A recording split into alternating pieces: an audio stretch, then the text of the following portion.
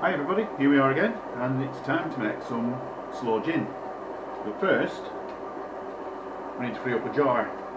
Now this is sloe gin, it's been in the jar on the fruit since um, 6th of the 10th 2016 so almost three years in the jar.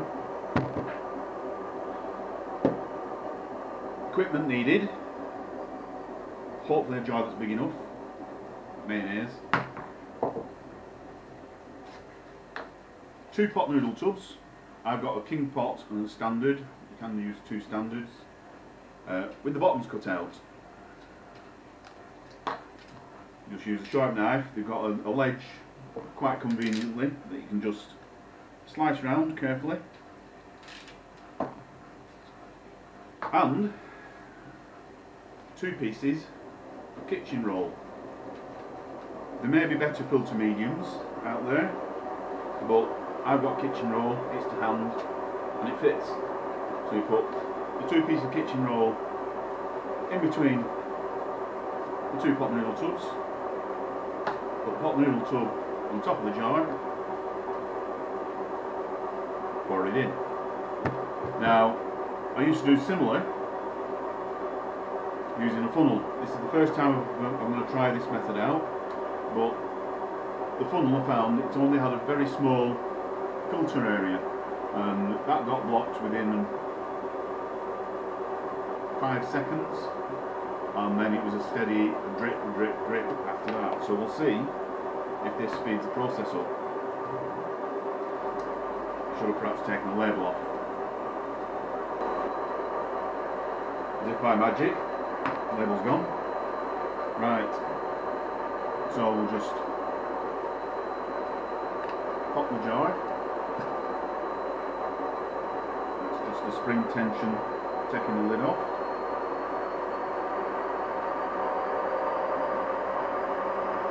Smelling good. Right.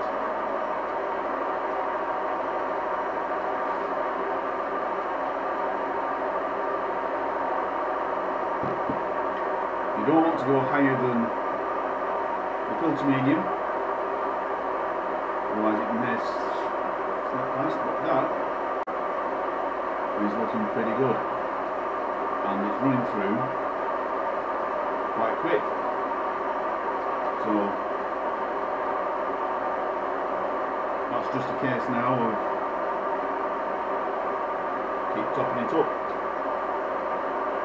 Right, we'll get back to you after this is done. That's just about done. Jar was just big enough. Um, the fruit is all in there. Now, I'm not going to bother cleaning the jar out because it's had sloe gin in it. I'm going to wipe the top of the jar and wipe the inside of the seal with a piece of kitchen roll. That'll be good enough. Now the recipe calls up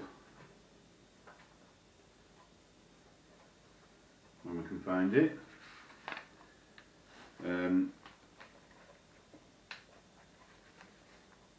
I think well, yeah, forgot, just run a sample off, just have a bit of a taste.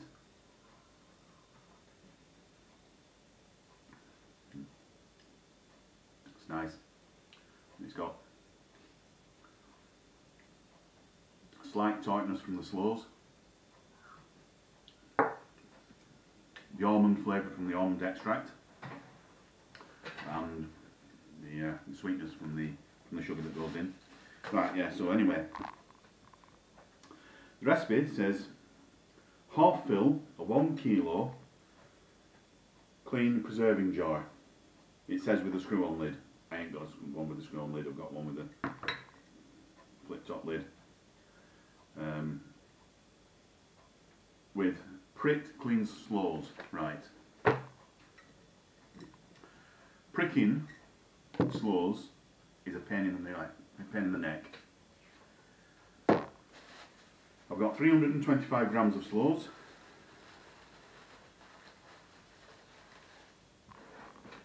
I've got a chopping board with a piece of kitchen roll. I'll just show you some of the sloes in a second. They vary in size. Um, that's probably about the smallest. That's about biggest. It came from different bushes in different, slightly different areas. Right, Ooh. you want not chuck them all over the place, starters. Um, but get rid of any of the stalks that are still on.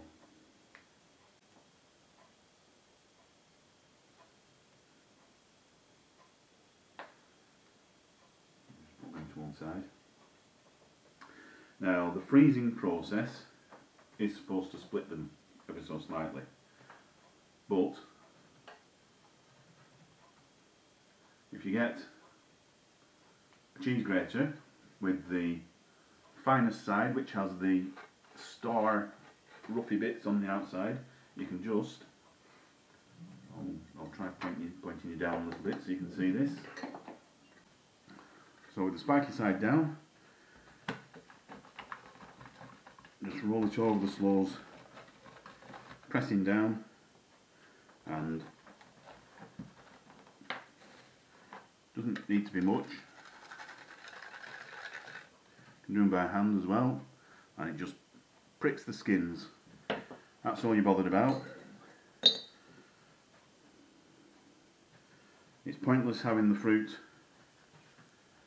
without the skins pricked because they won't release juices so that is probably the easiest way actually. Just get a handful roll them round. Couple more stalks there. Because that way it also gets rid of some of the imperfections of different sizes of fruit. So these would come straight out of the freezer, rock hard and cold, as you can see. Unfortunately I'm grating them a little bit, perhaps overdoing it. That's probably all it needs. Not much pressure at all, just a, a roll round.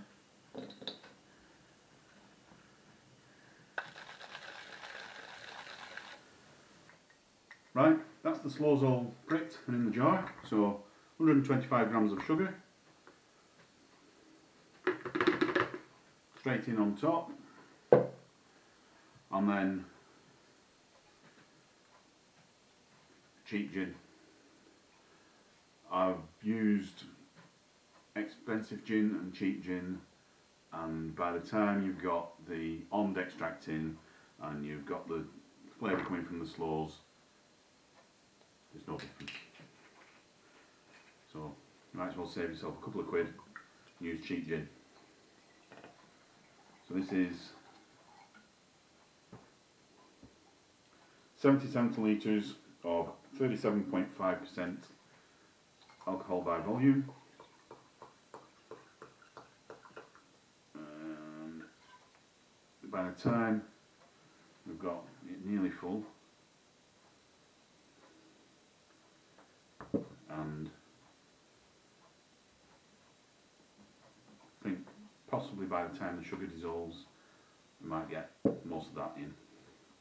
So just shake it up until the sugar dissolves. As you can see it's already getting a pink tinge to it. That's the sloes doing the thing. Now you don't add the almond extract straight away I'll put the recipe down in the comments.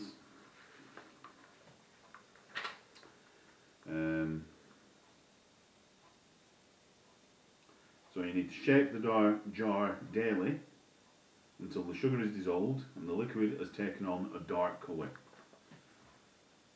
That's only a light colour and it's not dissolved yet, isn't the sugar. Doesn't help. The sloes have not frozen everything, but certainly dropped the temperature, so the sugar is not going to dissolve very well. Um, 10 mil of almond extract can be added after two weeks, which is what I did with that one, and then left it for three years. Uh, right, so you leave the sloes in the jar for two months in all, shaking up fairly often. When the gin is to be bottled, preferably in half-size liqueur bottles, the liquid must be run through fine lining or a filter to ensure all particles which would otherwise mar the clarity are kept from the bottle. Well, that's pretty much that. That is pretty much crystal clear as far as I can see. And that's all there is to it. Um, I'm even going to be able to get some more gin in at this point. As you can see, the liquid's already already dropped somewhat.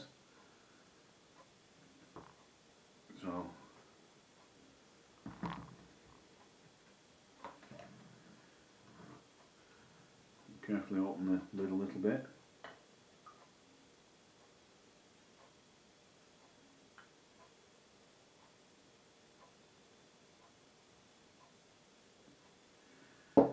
Just got the whole lot in.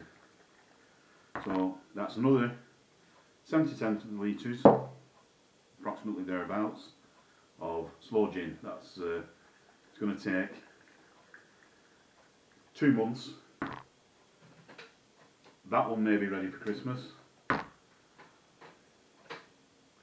one certainly is. Right, like, comment and subscribe. See you next time. Cheers, bye.